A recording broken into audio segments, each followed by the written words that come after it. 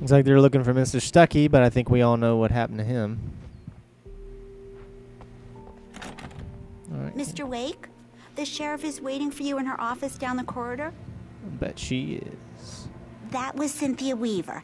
I guess you can call her the town eccentric. She used to be the editor of the local newspaper, but she's focused on, um, well, other things these days. She'd fit right in where I come from. As you can see, she's a little the whole town, refuses to step on shadows, things like that. Back in her day, she wrote about all sorts of weird things in the paper. Bright Falls has a colorful history. Of course?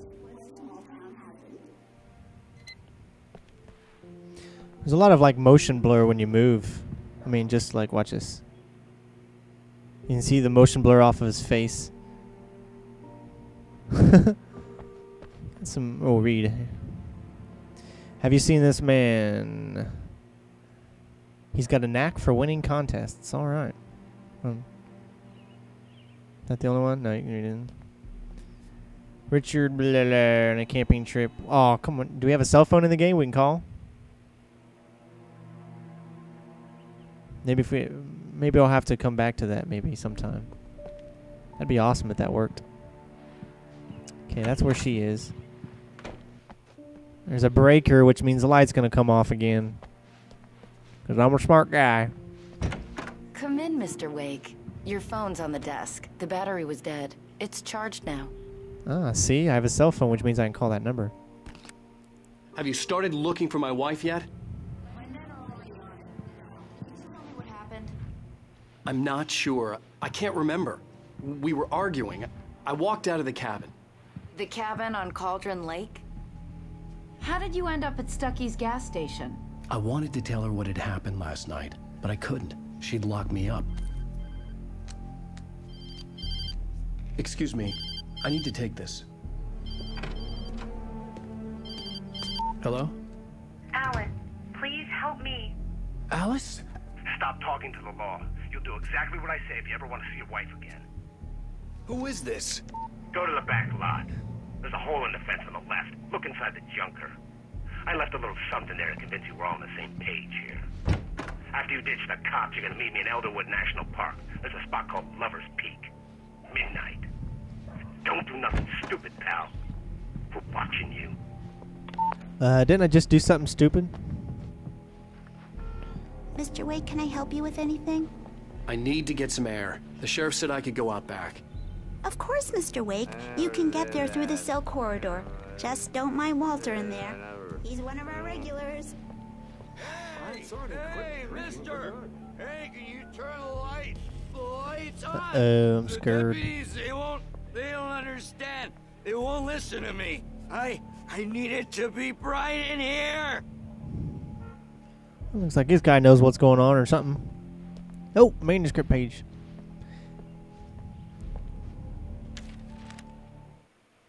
In spite of its human mask, to describe the Dark Presence as intelligent would have implied human qualities on something decidedly inhuman. Nonetheless, it found the one spot in the diner that was dark enough. Some light spilled into the corridor, ravaging it. But it took the pain. Horrible as it was, the writer would soon fix that. He would be coming to the one place where it still had power.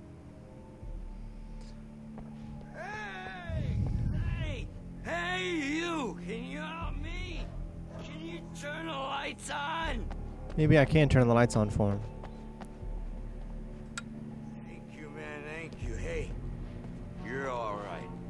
You're a good guy. Don't let anybody tell you different. You know, I shouldn't even be in here. The cops, they got it all wrong. See, sure, sure, sure, I beat him up, but I wasn't drunk. I mean, I wasn't drunk at the time. I only got drunk afterward. Okay, listen. Listen, listen. You gotta listen carefully now. Here's the kicker. That wasn't Danny. No, sir. It only looked like him. You wanna know who it really was? I'll tell you who it really was. It was a goddamn space alien! I know it sounds like something a drunk would say, but believe me, I wasn't drunk then. I believe you, brother. I believe you. All right. Maybe turning on that light did something. What was the TV over here? What does that do? Yeah, well, I don't hear Nothing. Where on your feet? All right, let's go. The early morning light hurt my eyes and made my head ache. The man on the phone had said, go through the fence on the left. Not yet. Well, folks, it's been another long night, and uh, it's about time for me to sign off for a while. God knows I need my beauty sleep. uh, just one more item before I go. It's been a busy night for the sheriff's department. We've had a few broken windows, even a report of shots fired on Main Street. Deputies Mulligan and Thornton had to deal with two intoxicated young men who were celebrating the completion of their Deer Fest float. Now, folks, we get this every year. I know it's exciting, the big day is almost here, but let's save it for the party and leave the gunplay for the shooting competition, huh? There's no point in getting all worked up yet. Let's see if we can go up here. No. Let's check behind the ambulance. Oh, focus. Yeah, that's where The we're going. The caller had told me to find a hole in the fence behind the police station. There was something for me in an abandoned car.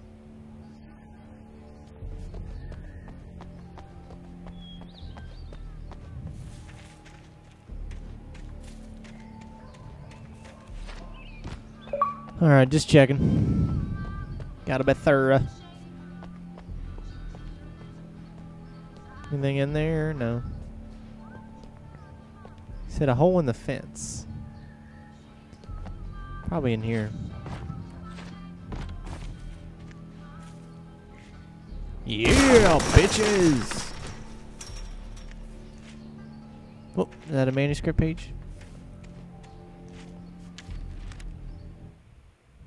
The kidnapper fired his gun one last time, and the shadow vanished into the darkness it had come from.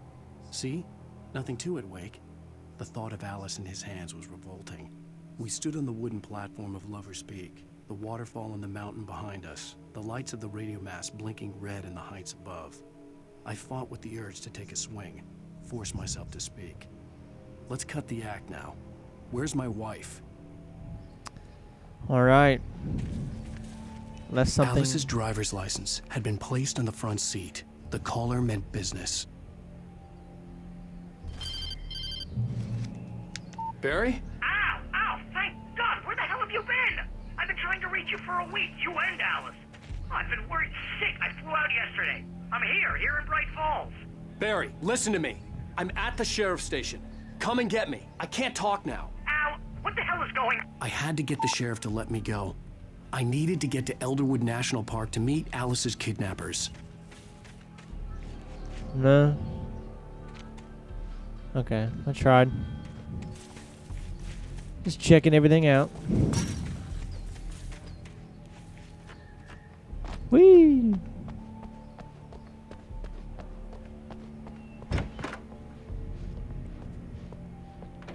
Uh-oh, where'd he go? Okay, there he is. Oh, shit. A writer is a light that reveals the world of his story from darkness, shapes it from nothingness. The way a sculptor carves a statue from a block of granite. If I stop, the world I'm making dies. Darkness will reclaim it. It's a long, hard journey into the dark. Alice's life is at stake, but I can't think about that, or I'll lose it. The dread lingers at the edge of perception. I'll push on. Anything is possible here. I'll write the story. I'll save her. Oh. Did you hear that? He said long and hard. Marvelous, sir. I just wanted to settle all the damage the Anderson brothers might have inadvertently caused on their recent and regrettable little outing. They are not accountable for their actions, of course. I can assure you that my staff